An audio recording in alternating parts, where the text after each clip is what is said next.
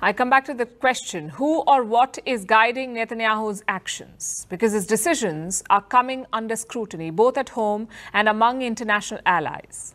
Like the question of backing Hamas, it's back in focus. And it doesn't make Netanyahu look good. New details have emerged. They show how he helped fund Hamas, how the Israeli prime minister helped Hamas get millions of dollars every year. This is the same group that he talks about destroying now, but for almost a decade, he secured millions of dollars for them, suitcases full of cash, delivered to Gaza with Israeli security.